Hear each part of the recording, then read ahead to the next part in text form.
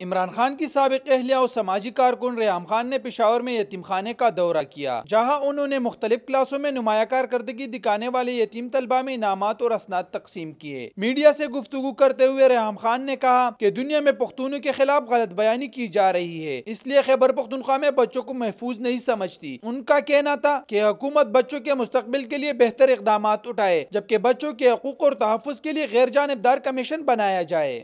میں قومی سطح پہ، صوبائی سطح پہ چاہتی ہوں کہ چائلڈ پروٹیکشن اور چائلڈ رائٹس کے لیے صوبائی اسمبلی میں، وفاقی اسمبلی میں چائلڈ رائٹس کمیشن بنایا جائے۔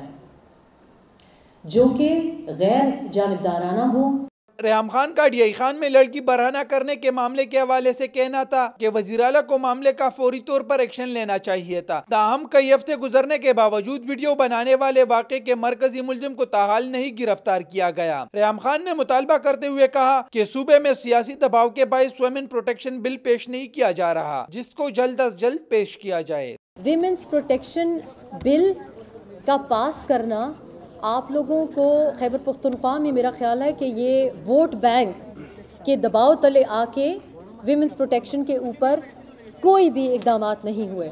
ریام خان کا یہ بھی کہنا تھا کہ سیاسی جماعتوں کی غلط فہمیوں کی وجہ سے فلائی کاموں کا آغاز کیا، جبکہ عمران خان کے گھر میں ہوتے ہوئے وہ زیادہ فلائی کاموں میں حصہ نہیں لے سکی۔ کیمرہ مین ندیم خان کے ساتھ Kamran Ali capital T V, Peshawar.